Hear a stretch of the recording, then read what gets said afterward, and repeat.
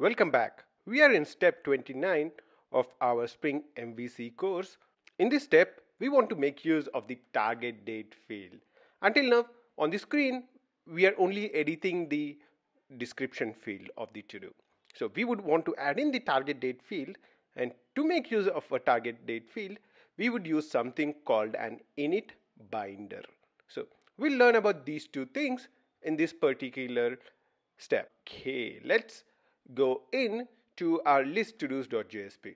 Right now, if we look at the target date, the way it's displayed, uh, it's not really good.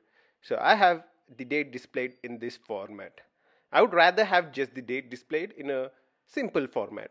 How do we do that? What we'll make use of is a simple JSTL tag called format date. The format date accepts a pattern. So I want to show in date in this particular pattern dd mm y y y y. That's basically the format I want to show and the value which needs to be formatted is to do dot target date. So what I'll do is I'll take this and I'll put it inside the TD. So instead of the target date, I'll put this in. So now I'm trying to use FMT. Before we use FMT, I have to tell what the FMT is. We have another tag library that we need to add. That's JSTL FMT. These are all the formatting tags. There are a lot of formatting tags which are present in JSTL. You really want to check them out. The JSTL formatting tags are useful to display, I mean, to format currency values, to format dates, to format even numbers in a specific format. So there are a lot of tags. In this specific thing, we are making use of formatting the date. So I want to format the target date in this particular format and that's what I'm trying to do in here. Again, the snippet is already in the useful snippets. So you can see the couple of snippets in here which you can use. So let's refresh the page and there you go. The target date is much much better formatted right now. It looks really much better than what it was earlier. So now we have the target date format, formatted. Now let's see what's involved in adding the target date to, to do.jsp. Put the target date in here. So I'll copy the entire field set and change description to target date. Let's start from here. So target date, target date, target date. I'm typing it in, but the best, simplest thing would have been to copy it in. So now let's see what would happen. Let's refresh the page and I'll click update. You see already something good happening that the target date is already displayed. As soon as I added the target date in, the target date is now displayed. But there will be something funny happening when submit is clicked. Yeah. When I click submit, what the target date field is telling me is it's able to convert, it's unable to convert it to a proper format.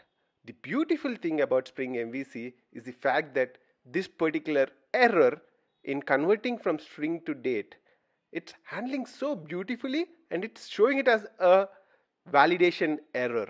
Imagine doing this earlier in Struts or any other framework. I mean, I can't think what would have happened. It would have probably blown up, throwing an exception, and you would be going to an error page. When there is a simple validation error on a particular field, and this is really beautiful handling, and it's clearly saying what the error is. So now I would want to handle this error. So before that, what we would try and do is we would want to use the date format also in here. So we want to format the date in a specific format. Now I would need to tell Spring Framework that. I can keep telling how to format the date in every place. So I can go in and use the format in here or I can have a standard format across the entire controller or even I can have a standard format across the application. How do we do that with Spring? We use something called init binders. Let's see how we can use init binders in the login controller. Sorry, actually it's the to-do controller. So let's go to the to-do controller and we would now need to tell this controller that you always use this date format. Whenever you're showing something on the screen or whenever some binding is happening, use this date format. How do we tell that? That's the init binder. We need to create a simple method, protected, and we need to pass in web data binder. So we need to tell the controller that this is our init binder method. So how do we tell that? That's basically by using init binder annotation. So now this particular piece of binding would be invoked before the start of any this any controller method in this particular thing. Now we want to tell this binder to use the date format that we would want to specify. I'll start off by creating a simple date format. Let's import this in. I've imported the simple date format. I want to use the same format that we used earlier DDMMYYYY. So that's the format which we are going to use and now we would need to set this into the init binder. So binder dot register custom editor for which class we want to do it for the date class. So the date dot class and what is the format that I would want to use? There's something called a new custom date editor to which I can pass in the date format I would need to use and the second thing is to is to say if uh, empty is a valid value. I'll put it at false. That's it. So now we have our init binder set up. Creating an init binder is very very very simple actually. All that I did is created a date format and I registered a custom editor for the date class and I used the date format in here. So it's as simple as that. So now I have the init binder registered. Let's go ahead refresh the page first. Let's yeah now this is picked. You can already see that the target date is displayed in the right format. That's perfect. And now I would say 14 and click sub. Now you see that the to-do is updated properly. So we are now able to update the target dates as well.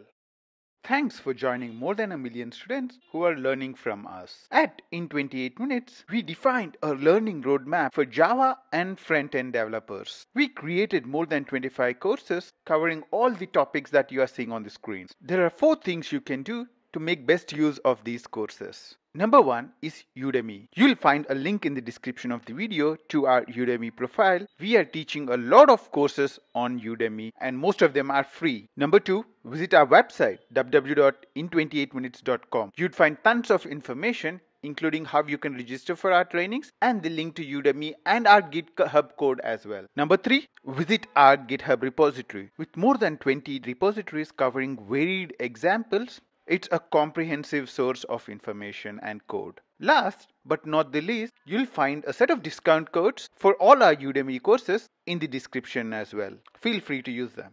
Good luck from the team here at In 28 Minutes, your destination for high quality step by step courses.